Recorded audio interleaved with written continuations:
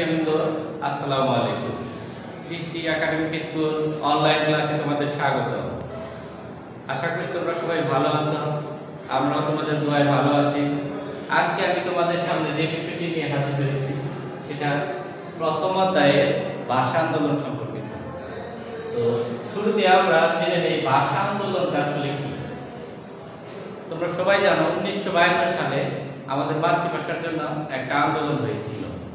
সেই আন্দোলনটা সূত্রপাত হয়েছিল উনিশশো সাঁইত্রিশ সালে।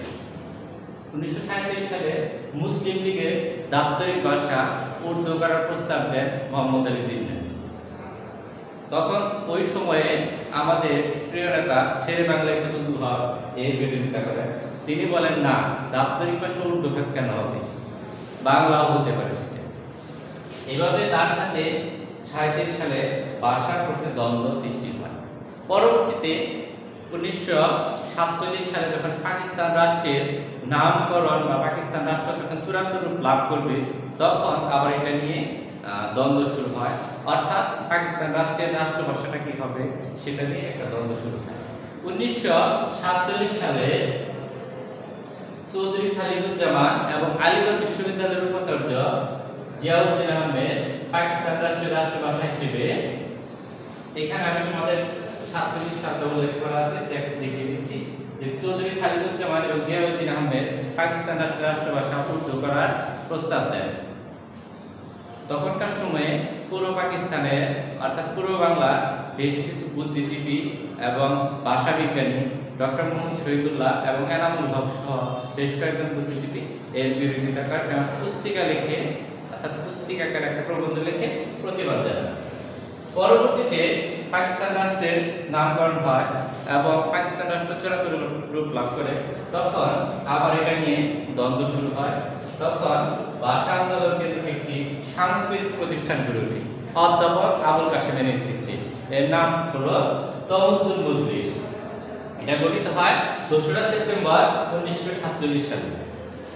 তো এই তমুদ্দুল মজলিস বাংলাকে পাকিস্তানের অন্যতম রাষ্ট্রভাষা করার সিদ্ধান্ত গ্রহণ করে। তো আমি শুরুতেই একটা বিষয় তোমাদের বলতে ভুলে গিয়েছি, অর্থাৎ বলিনি, কারণ ভাষা আন্দোলনের কিছু ইতিহাস জানার দরকার আছে। কীভাবে সূত্রপাত হলো? তো এখন সংখ্যাটা বলতেছি। তো উনিশশো বায়ান্ন সালে মাতৃভাষার জন্য, অর্থাৎ আমাদের বাংলা ভাষার জন্য যে আন্দোলন সংগঠিত হয়েছিল, তাকে ভাষা আন্দোলন বলা হয়। তো এবার আপনারা ভাষা আন্দোলনের সংজ্ঞাটা অবশ্যই দিতে পারবে সহজ ভাষায়। এখন আমরা জেনে নেই, ভাষা আন্দোলনটা পরবর্তী প্রেক্ষাপট। তো উনিশশো সাতচল্লিশ সালে পাকিস্তান রাষ্ট্রের নামকরণ হওয়ার পরে যে ভাষা আন্দোলন নিয়ে যে সাংস্কৃতিক প্রতিষ্ঠান গড়ে ওঠে, সেই সাংস্কৃতিক প্রতিষ্ঠান ভাষা আন্দোলন কেন্দ্রিক বিভিন্ন ভাবে আন্দোলন সংগ্রাম চালিয়ে যাওয়ার দৃঢ় প্রত্যয় গ্রহণ করে এবং তারা সেটা চালিয়ে যায়। পরবর্তীতে আমাদের ভাষা আন্দোলন কেন্দ্রিক জনমত গড়ে ওঠে এবং তারা ধর্মঘট পালন করে। এভাবে ভাষা আন্দোলন কেন্দ্রিক পূর্ব পাকিস্তান সরকার তখন চাপে পড়ে যায় এবং তারা আমাদের সাথে, অর্থাৎ পূর্ব পাকিস্তানের এই নেতৃবৃন্দের সাথে আট দফা চুক্তি করতে বাধ্য হয়। উনিশশো আটচল্লিশ সালে বীরেন্দ্রনাথ দত্ত গণপরিষদ সদস্য, অর্থাৎ উনি তখন পূর্ব পাকিস্তান গণপরিষদ সদস্য ছিলেন। তিনি গণপরিষদের ভাষা হিসেবে উর্দু এবং ইংরেজির পাশাপাশি বাংলা ব্যবহারের দাবি জানান। সেখানেও তার দাবিটা অগ্রাহ্য হয়, পরবর্তীতে ধর্মঘট পালিত হয় এবং হরতালও পালিত হয়।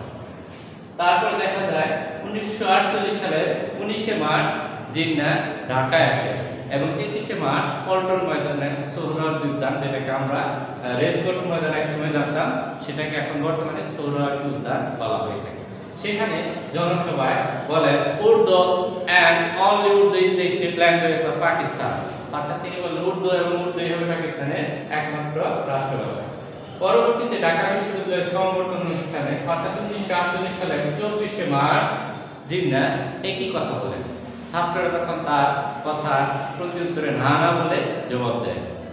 তো তারপরে জিন্না এই ভাষা প্রশ্নে তার যে কথাটা, তারই পরিপ্রেক্ষিতে উনিশশো বায়ান্ন সালে ছাব্বিশে জানুয়ারি নাজিরুদ্দিন, অর্থাৎ তখন নাজিরুদ্দিন প্রধানমন্ত্রী ছিলেন, তিনি পাকিস্তান রাষ্ট্রভাষা হিসেবে উর্দু করার প্রস্তাব দেন। তার তার কথার পরিপ্রেক্ষিতেও আন্দোলনের ঝড় ওঠে এবং একুশে ফেব্রুয়ারি পূর্ব পাকিস্তানের লোকজন, অর্থাৎ আমাদের এই পূর্ব বাংলার লোকজন একুশে ফেব্রুয়ারি ভাষা দিবস হিসেবে পালনের সিদ্ধান্ত গ্রহণ করে। সেটা ছিল উনিশশো বায়ান্ন সালে, একুশ ফেব্রুয়ারি। সরকার এই আন্দোলনের ভয়াবহতা, অর্থাৎ আন্দোলনের তীব্রতা দেখে উনিশশো বায়ান্ন সালে বিশে ফেব্রুয়ারি থেকে পরবর্তী নির্দেশনা না দেওয়া পর্যন্ত একশো চুয়াল্লিশ দ্বারা জারি করে।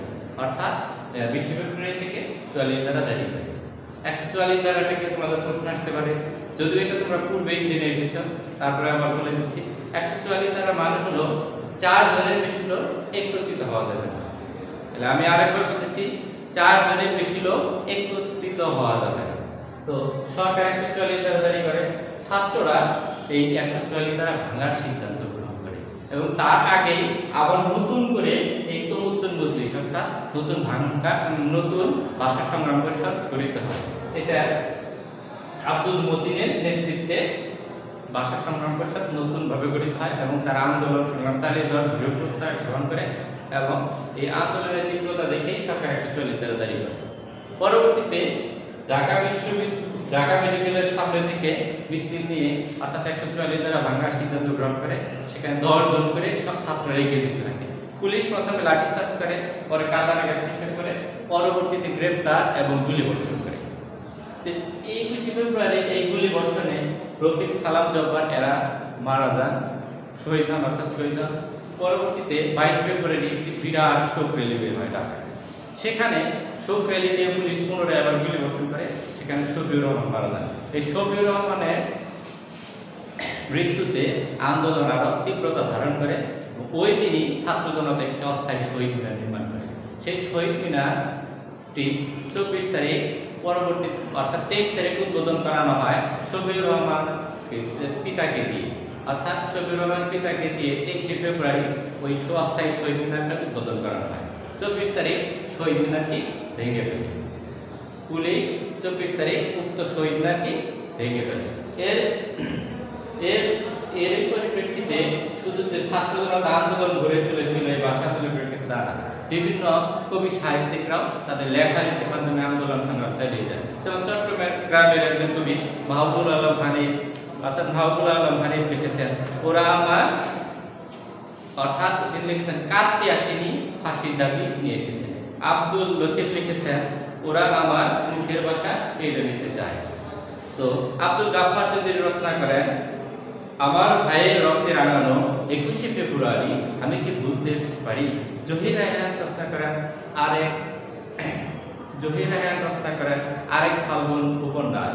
আর মনির চৌধুরী তখন জেলে বন্দী ছিলেন। তিনি সেখানে সেই কবের কবর নাটক রচনা করেন। অর্থাৎ মনির চৌধুরী জেলে বসেই এই ভাষা আন্দোলন কেন্দ্রিক কবর নাটকটি রচনা করেন এভাবে আমাদের পূর্ব পাকিস্তানের ভাষা আন্দোলন কেন্দ্রিক আমাদের ভাষা সাহিত্যিকরাও আন্দোলন গড়ে তুলেছে।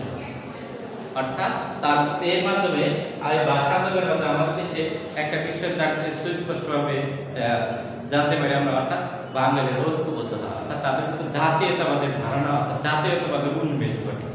এখন আমরা জানতে পারব জাতীয়তাবাদ ধারণাটা আসলে।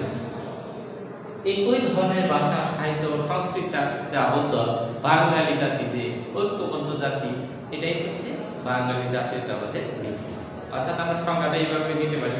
একই ধরনের ভাষা, সাহিত্য, সংস্কৃতি বাঙালি জাতির মধ্যে যে ঐক্য সৃষ্টি করে, তাকে বাঙালি জাতীয়তাবাদ এবং এই জাতীয়তাবাদের কারণে পরবর্তীতে বাংলাদেশের স্বাধীনতা সংগ্রামের বিরাট একটা ভূমিকা রেখেছে।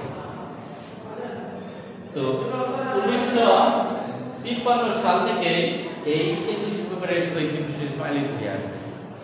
পরবর্তীতে উনিশশো নিরানব্বই সালে জাতিসংঘের একটি অঙ্গ প্রতিষ্ঠান ইউনেস্কো বাংলাকে আন্তর্জাতিক মাতৃভাষা দিবস হিসেবে ঘোষণা করে এবং তারপর থেকে আমাদের এই ভাষা শহীদ দিবস অর্থাৎ একুশে ফেব্রুয়ারিটা আন্তর্জাতিক মাতৃভাষা দিবস হিসেবে পালিত হয়ে আসতেছে।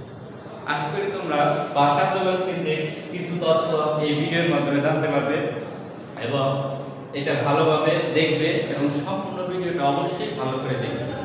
তারপরেও যদি কোনো সমস্যা থাকে, আমাদের বললে আমরা এটা সলভ করতে সক্ষম হব এবং তোমাদের সমস্যা সমাধান করতে পারব ইনশাআল্লাহ।